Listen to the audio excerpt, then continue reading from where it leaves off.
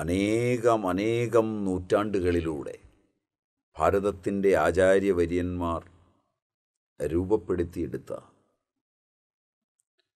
ചികിത്സാ പദ്ധതി ജനഹൃദയങ്ങളിലൂടെ കടന്ന് സൈദ്ധാന്തികമായും പ്രായോഗികമായും ജനകീയമായി മാറുകയാണ് ഉണ്ടായത്. ജനകീയ ഔഷധ നയത്തിന്റെയും ജനകീയ ആരോഗ്യ നയത്തിന്റെയും അടിസ്ഥാനത്തിൽ വളരെ വളരെ ശ്രദ്ധേയമായ ഒരു നിലയിലേക്ക് ഇത് ഉയരുകയും ചെയ്തിട്ടുണ്ട്. നമ്മുടെ അമ്മമാർ കേരളീയ മാതാമഹികൾ ഇക്കാര്യത്തിൽ വളരെ മുമ്പിലെത്തുകയും ചെയ്തിരുന്നു. ജ്വരമാണ് നമ്മുടെ ചർച്ചാ വിഷയം. ജ്വരത്തിനുള്ള അനേകം അനേകം ഔഷധങ്ങൾ ഗ്രാമഗ്രാമാന്തരങ്ങളിൽ പല തലങ്ങളിൽ പല രീതികളിൽ രൂപപ്പെട്ടു വന്നിട്ടുണ്ട്. ഗർഭിണിയുടെ ജ്വരവും ഗർഭിണിയുടെ പ്രശ്നങ്ങളും ഓരില വേര് മൂവില വേര് ചെറുവഴുതിന വേര് കുറുന്തോട്ടി വേര് ഇവ കഷായം വെച്ച് കുടിച്ചാൽ തൃഷ്ണ പനി തുടങ്ങി ഗർഭിണിയുടെ പ്രശ്നങ്ങളൊക്കെ മാറും. ഗർഭിണിക്ക് വരുന്ന പനിയും മറ്റും മാറാൻ ഒരു ആറ് മാസത്തിലധികം ഗർഭമായ സ്ത്രീക്ക് ജീരകം മുക്കുടി വെച്ച് കഴിച്ചാൽ മതി. ഗർഭത്തിന്റെ ആരംഭത്തിൽ ജീരകം അധികമായി ഉപയോഗിക്കരുത്. ഗർഭശ്രുതിക്ക് കാരണമായേക്കാം. രാത്രിയിൽ അല്പം ഇന്ദുപ്പും വെണ്ണയും കൂട്ടി സേവിച്ചാൽ പനിയും അനുബന്ധങ്ങളായവയും മാറും. ദാഹം വളരെ കൂടുതലുണ്ട് ഗർഭിണിക്കെങ്കിൽ. ദാഹമേറിയാൽ ചുക്കും കരിങ്ങാലിയുമിട്ട് വെള്ളം വെന്ത് കുടിച്ചാൽ മതി.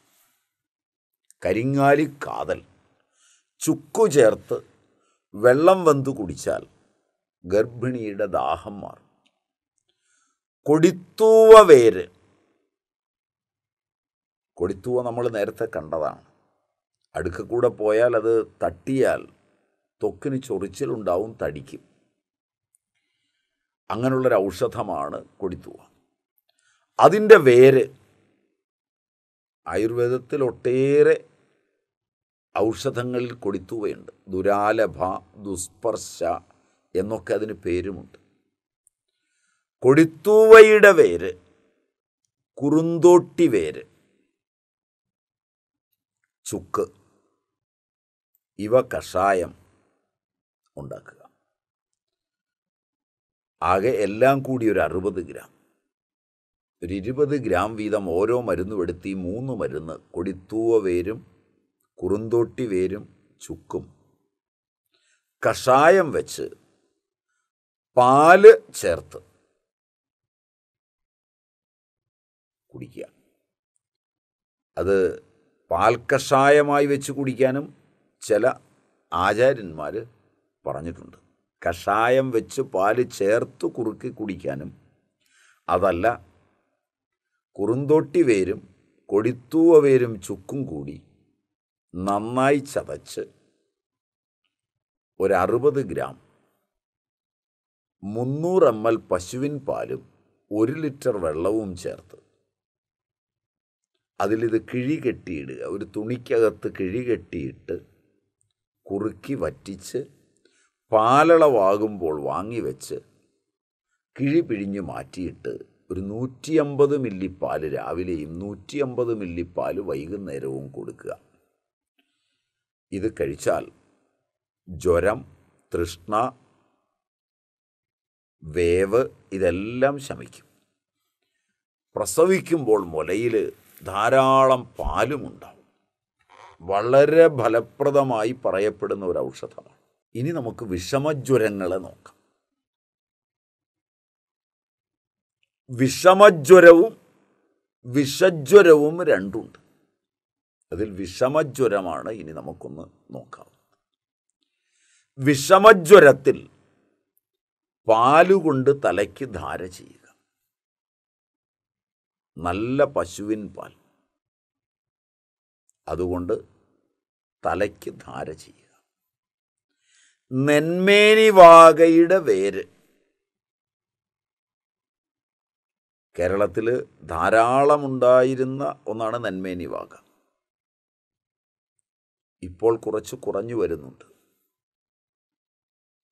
ഔഷധ സസ്യങ്ങളെ പരിപാലിക്കണമെന്നുള്ള സങ്കല്പങ്ങളിൽ നിന്ന് മാറുകയും വ്യാവസായിക പ്രാധാന്യമുള്ള കൃഷിക്ക്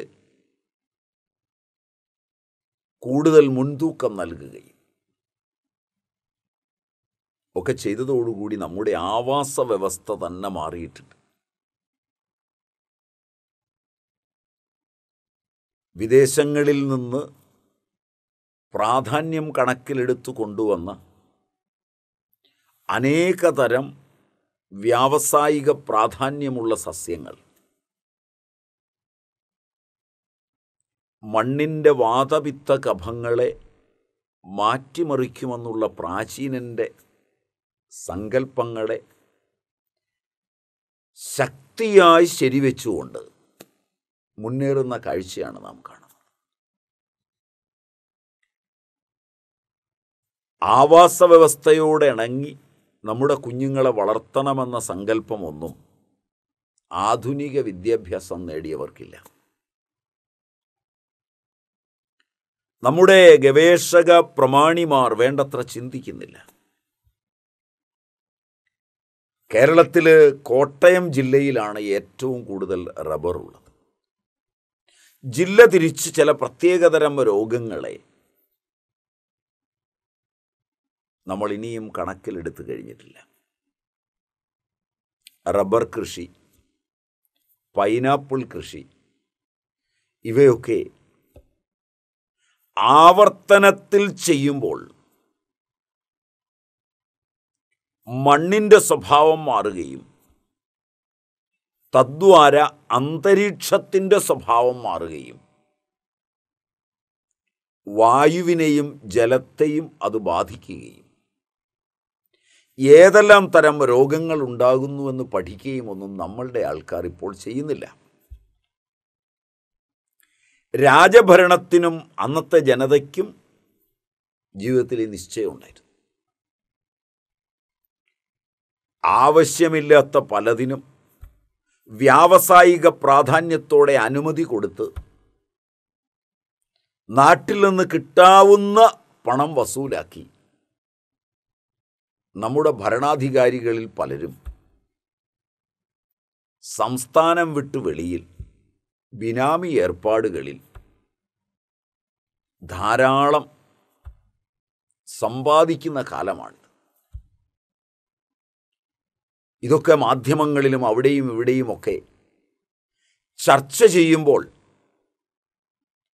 അവയെ എതിർക്കാൻ പോകുന്നവർ തങ്ങൾക്കതിന്റെ പങ്ക് കിട്ടാത്തതിലാണ് പരിതപിച്ച് പലപ്പോഴും പറഞ്ഞു കേൾക്കുന്നത്. പകരം അനാവശ്യമായ ഇടപെടലിലൂടെ നമ്മുടെ ആരോഗ്യരംഗത്തെ എങ്ങനെ ഇത് ബാധിക്കുന്നു? അതിന്റെ വ്യക്തമായ പഠനങ്ങളൊന്നും ഉണ്ടെന്ന് തോന്നുന്നില്ല. ആവർത്തന കൃഷികൾ ചെയ്യുന്ന ജില്ലകളിൽ രൂപാന്തരപ്പെടുന്ന രോഗങ്ങളെക്കുറിച്ചോ അവ മണ്ണിനുണ്ടാക്കുന്ന വൈകല്യങ്ങളും അതിൽ നിന്ന് പിന്നീട് വരുന്ന ആഹാര പദാർത്ഥങ്ങൾ കൃഷി ചെയ്യുന്ന ഉപയോഗിക്കുമ്പോൾ വരുന്ന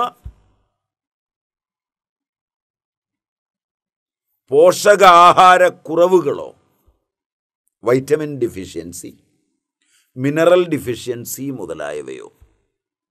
സമ്പൂർണവും സമഗ്രവുമായ ഒരു ആഹാരം ലഭിക്കാതിരിക്കുവാൻ ഇത്തരം കൃഷികൾ എങ്ങനെ ജനതയെ സ്വാധീനിക്കുന്നുവെന്നോ ഒന്നും നമ്മൾ പഠിക്കാനോ ശ്രദ്ധിക്കാനോ തയ്യാറാകുന്നില്ല എന്നത് വസ്തുതയാണ്. ഇത് വളരെ വളരെ ശ്രദ്ധിച്ചു നോക്കേണ്ടതാണ്. ഒരു ഏരിയയിൽ പൈനാപ്പിൾ കൃഷി ചെയ്യുമ്പോൾ പൈനാപ്പിളിന് വേണ്ടുന്നത് മധുരമാണ്. മധുരരസം മണ്ണിൽ നിന്ന് പൂർണമായി വലിച്ചെടുക്കുമ്പോൾ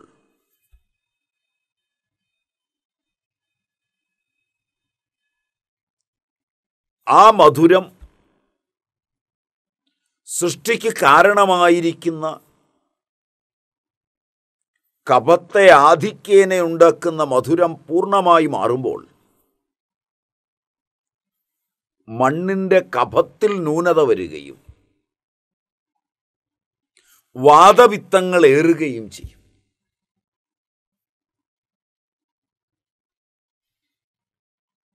അത്തരം സ്ഥലങ്ങളിൽ വന്ധ്യത മുതലായത് കോശങ്ങൾ സൃഷ്ടിയുന്മുഖമായി ദുഷിക്കുകയും. തദ്വാര. പിത്താധിക്യത്തിന്റെയും വാദാധിക്യത്തിന്റെയും രോഗങ്ങൾ കൂടുതലായി ഉണ്ടാവുകയും. കൊച്ചു കുഞ്ഞുങ്ങളിലും മറ്റും ശാരീരിക വൈകല്യങ്ങൾ കൂടുകയും ഒക്കെ ചെയ്യുമോ? ഇങ്ങനെയാണ് പ്രാചീനർ പഠിച്ച രീതി. മണ്ണിനെ അതിന്റെ വാതപിത്ത ഗഭങ്ങളിൽ അന്തരീക്ഷത്തെ അതിന്റെ വാതപിത്ത ഗഭങ്ങളിൽ ഋതുക്കളെ അതിന്റെ വാതപിത്ത കഫങ്ങളിൽ രാപ്പകലുകളെ വാതപിത്ത കഫങ്ങളിൽ അവിടെ ജീവിക്കുന്ന സസ്യങ്ങളെ ജന്തുക്കളെ മനുഷ്യനെ സമഗ്രമായ മൗലിക സിദ്ധാന്തത്തിന്റെ ആയുർവേദത്തിന്റെ മൗലിക സിദ്ധാന്തത്തിന്റെ വെളിച്ചത്തിൽ കണ്ടുപോന്ന കാലങ്ങളിൽ മാരകങ്ങളായ രോഗങ്ങൾ വരാതിരിക്കുവാനുള്ള കരുതൽ ഭരണകൂടങ്ങൾ എടുത്തിരുന്നു. പുതിയ കെമിസ്ട്രിയും ഫിസിക്സും ഒക്കെ വന്നപ്പോൾ പഠനം വൈശേഷികമായി തീർന്നു. സ്പെഷ്യലൈസേഷന്റെ വഴിയിലായി. എല്ലാത്തിനോടുമുള്ള നമ്മുടെ സമീപനം അപഗ്രഥനാത്മകമായി അനലറ്റിക്കലായി. എല്ലാത്തിനോടുമുള്ള സമഗ്രമായ സമീപനം ഇന്റഗ്രൽ അപ്രോച്ച് നമുക്കേതാണ്ട് നഷ്ടശിഷ്ടമായി. ഈ ഒരു അവസ്ഥയിൽ നിന്നുകൊണ്ട് ഒരു മണ്ണിൽ നിന്ന് നിരന്തരമായി മധുരം മാറ്റുമ്പോൾ എരിവ് മാറ്റുമ്പോൾ പുളി മാറ്റുമ്പോൾ അത് അവിടെയുള്ള ജനം കഴിച്ച് മലമായി മൂത്രമായി അവൻ ചത്തൊടുങ്ങുമ്പോൾ മണ്ണിൽ ചേർന്ന് ശരീരവും ചേരുമ്പോൾ അത് റീസൈക്കിൾ ചെയ്തു വരും. ഈ സാധനങ്ങളെല്ലാം ഉണ്ടാക്കി വ്യാവസായിക പ്രാധാന്യത്തോടെ കയറ്റി അയക്കുമ്പോൾ ഒരു ദേശത്തുണ്ടാക്കിയ വസ്തു ആ ദേശത്ത് നിന്ന് മറ്റൊരു ദേശത്ത് ചെന്ന് അവിടെ ജനങ്ങൾ ഭക്ഷിച്ചും അവിടെ ഉപയോഗിച്ചും അവിടെ അതിന്റെ ആധിക്യം ഉണ്ടാവുകയും ഇവിടെ അതിന്റെ ന്യൂനത ഉണ്ടാവുകയും ചെയ്യും. റബ്ബറും മറ്റും കൃഷി ചെയ്യുമ്പോൾ അതിലേക്ക് എടുക്കുന്ന ലാറ്റക്സ് ആ ദേശങ്ങളിൽ റീപ്ലേസ് ചെയ്യുന്നില്ല. നിരന്തരമായ ഈ ദൂഷിത ചക്രം വളരെ ദൂഷിതമായ ഒരു ചക്രത്തെ വിഷ്യ സർക്കിൾ ജനജീവിതത്തെ ആകെ ദുഷിപ്പിക്കും. അതുകൊണ്ട് വളരെയധികം ശ്രദ്ധിച്ചു വേണം ഇത്തരം കാര്യങ്ങളെ ചെയ്യാൻ. ഭൂമിയുടെ തലം നിലനിർത്തി വേണ്ടത്ര ഔഷധ സസ്യങ്ങളെ എന്തോ ആധുനിക ഗവൺമെന്റുകൾ ആരുടെയോ നിർബന്ധം കൊണ്ട് വ്യവസായ പ്രാധാന്യത്തോടുകൂടിയുള്ള ഏതോ മെഡിക്കൽ കമ്പനികളുടെയും അവയെ ഉപയോഗിച്ച് ചികിത്സിക്കുന്ന സംഘടിത ശക്തികളുടെയും നിയന്ത്രണത്തിൽപ്പെട്ടാണെന്ന് തോന്നുന്നു. നാട്ടറിവുകളുടെ ശേഖരങ്ങളെ തമസ്കരിക്കുവാനൊരുങ്ങിയ നിയമനിർമ്മാണം വിട്ട് തൊഴിൽ പരമായ മേന്മ നൽകി അതിനെ കാണിച്ച് തമസ്കരിക്കുവാൻ ഒരുങ്ങുന്നത് അടുത്ത കാലത്ത് പുതിയ പുതിയ യോജനകൾ വരികയും തൊഴിൽ നൽകുകയും ചെയ്തിട്ടുണ്ട്. ജനങ്ങൾക്ക് ഒരു വരുമാനമുണ്ടാകുന്നത് ഉത്തമമാണെന്ന ബോധമേ അവർക്കുണ്ടാവൂ. അതുകൊണ്ട് അത്തരം തൊഴിലാളികൾ രാഷ്ട്രനിർമ്മാണപരങ്ങളായ പ്രവർത്തനത്തിനു പകരം ആവാസ വ്യവസ്ഥയെ നശിപ്പിക്കുന്ന പരിപാടികളിൽ പങ്കെടുത്തു വരുന്നുണ്ട്. പല മനുഷ്യ സ്നേഹികളുടെയും പല പ്രകൃതി സ്നേഹികളുടെയും നിർബന്ധം കൊണ്ട് അടുത്ത കാലത്ത്. ആ രംഗത്ത് ഓംബുഡ്സ്മാനും മറ്റും പ്രകൃതിയെ നശിപ്പിക്കുമാറുള്ള ഈ പ്രവർത്തനം നിർത്തണമെന്നും വഴിയോരങ്ങളിൽ നിൽക്കുന്നവ വെട്ടിത്തെളിക്കരുതെന്നും പറയുകയുണ്ടായി. സ്വയമേവ കേസെടുക്കുമെന്നും പറഞ്ഞ് അല്പമൊന്ന് നിയന്ത്രിക്കാൻ ശ്രമിക്കുകയുണ്ടായി. അത് കഴിഞ്ഞും കേരളത്തിൽ അവിടെയും ഇവിടെയും വെട്ടുന്നത് കണ്ട് നേരിട്ട് ചെന്ന ഓംബുഡ്സ്മാനെയും മറ്റും തടഞ്ഞു വയ്ക്കുകയും ഞങ്ങളുടെ തൊഴിലാണ് നഷ്ടപ്പെടുന്നത് എന്ന രീതിയിൽ ബഹളമയമാവുകയും ചെയ്തിട്ടുണ്ട്. ഇതിനെല്ലാം കാരണമായി ഭവിക്കുന്നത് ഏതോ ശക്തികളുടെ നിർബന്ധം. ഭരണകൂടങ്ങളെയും ജനജീവിതത്തെയും മാറ്റിമറിക്കാൻ ശ്രമിക്കുന്നുവെന്ന് ധരിക്കുന്നതാണ് ഉത്തമം. പക്ഷെ ജനങ്ങൾ ഒരാവാസ വ്യവസ്ഥയെ നിലനിർത്തുവാൻ എത്ര ക്ലേശമുണ്ട് എന്ന് തിരിച്ചറിയുന്ന ഒരു അറിവാണ് ഇപ്പോൾ സമ്പാദിക്കേണ്ടിയിരിക്കുന്നത്. അതിൽ നിന്നു മാത്രമേ നമുക്ക് ഈ ഔഷധങ്ങളെല്ലാം ലഭിക്കൂ. വ്യാവസായിക പ്രാധാന്യത്തോടെ ഡയറികളും പശു വളർത്തലുമൊക്കെ വന്നപ്പോൾ ഏതാണ്ട് എൺപത് ശതമാനം പാലും ഔഷധയോഗ്യമല്ല എന്നുറപ്പായി കഴിഞ്ഞു. ഏതാണ്ട് അത്രയും തന്നെ ആഹാരയോഗ്യവുമല്ല. ആഹാരയോഗ്യമായ പാൽ ഔഷധയോഗ്യമായ പാൽ ഒക്കെ വേറെയായി മാറുകയാണ്. അതുകൊണ്ട് തന്നെ അതിന്റെ പുതിയൊരു അറിവും പുതിയൊരു തലവും നമുക്ക് വേണ്ടി വരുന്നു വിഷമജ്വരം വരുമ്പോൾ നല്ല ശുദ്ധമായ പാൽ കിട്ടുമെങ്കിൽ അതുകൊണ്ട് തലയ്ക്ക് ധാര ചെയ്താൽ മതി. നെന്മേനിവാകയുടെ വേര് കഷായം വെച്ച് നല്ല മോര്. പുതിയ പുതിയ പരിപാടികൾ എളുപ്പവഴികളാണ് സാങ്കേതിക വിദ്യ നോക്കുന്നത്. പാൽ വെള്ളം ചേർത്ത് കാച്ചി നല്ല പോലെ വെന്ത് കഴിഞ്ഞ് തണുത്ത് കഴിഞ്ഞു മാത്രം അല്പം മോരോ തൈരോ ചേർത്ത്. മോര് ചേർക്കുന്നതാണ് ഉചിതം.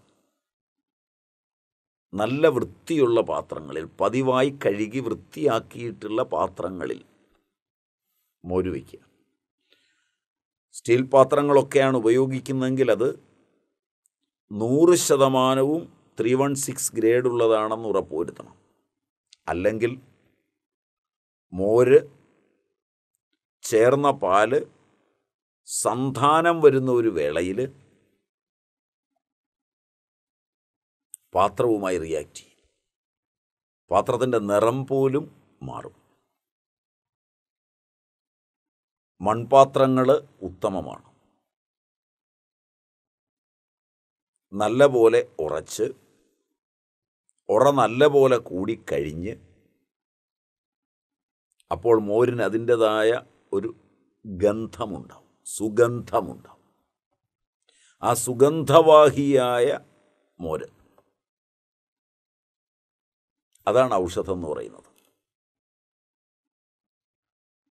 ആ രീതിയിലെടുത്ത് നല്ല പോലെ വെതുമ്പി ചെറു ചൂടോടുകൂടി സർവാംഗം ധാരയിട്ടാൽ വിഷമജ്വരം മാറും.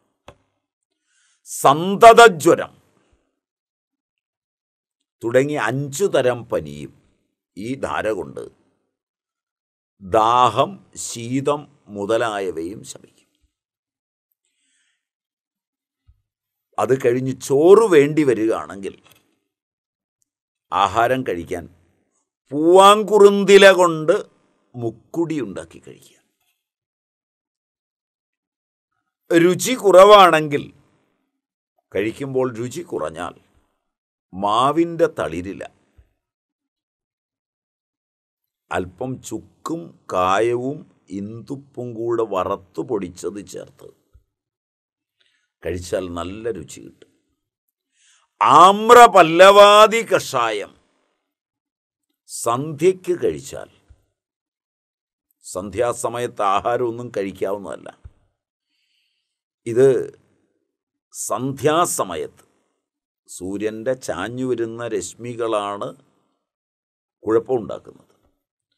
അത് തന്നെ ആമ്രപല്ലവാദി കഷായത്തിൽ വീണിട്ട് കഴിച്ചാൽ ഫലപ്രദമാകുമെന്നാണ് പ്രാചീനൻ കണ്ടെത്തിയിട്ടുള്ളത്. നല്ല രുചിയും കിട്ടും. അരയാലിന്റെ മൊട്ട്. അത്തി ഇത്തി അരയാൽ പേരാൽ. നാൽപ്പാമരത്തിൽപ്പെട്ടവയാണ്. അതിലെ അരയാലിന്റെ മൊട്ട്. കഷായം വെച്ച് പാൽ ചേർത്ത് കഞ്ഞി വെച്ച് കഴിച്ചാൽ പനിയെല്ലാം വിട്ടുമാറും.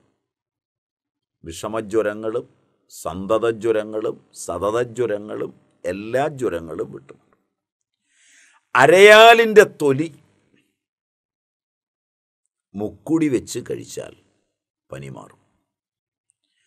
അരയാലിന്റെ മുട്ട് ധാരോഷ്ണ പയസ് കറന്ന് ചൂടുമാറാത്ത പാൽ അതിൽ കഴിച്ചാലും പനി മാറും. അരയാൽ ഇല പാലയുടെ ഇല കൊട്ടത്തിന്റെ ഇല.